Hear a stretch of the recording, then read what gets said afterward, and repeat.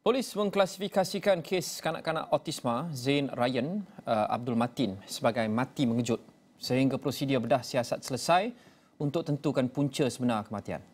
Menurut Ketua Polis Daerah Petaling Jaya, Assistant Commissioner Fakruddin Abdul Hamid, mayat mangsa dihantar ke Jabatan Forensik Hospital Sungai Buloh jam 11.40 malam semalam.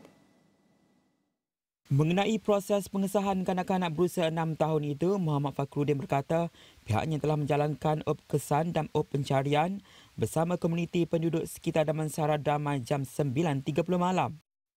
Misi pencarian berjaya menjumpai kanak-kanak terbabit dalam keadaan tidak sedarkan diri di saluran air berdekatan takungan air 200 meter dari jarak rumah mangsa.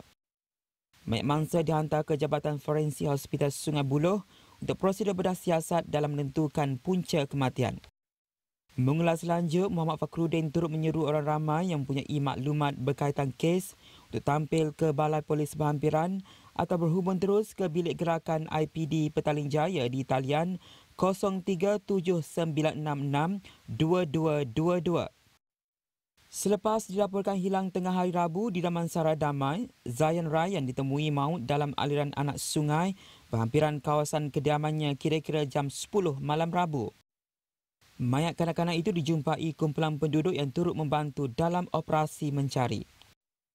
Sebelum itu, Ibu Zayan Ryan dilaporkan menyedari kehilangan mangsa ketika menaiki tangga untuk pulang ke rumah mereka di tingkat 3 apartmen itu kira-kira jam 12.30 tengah hari sebelum kanak-kanak berkenaan dikatakan kali terakhir dilihat memasuki kawasan belukar berhampiran apartmen idaman.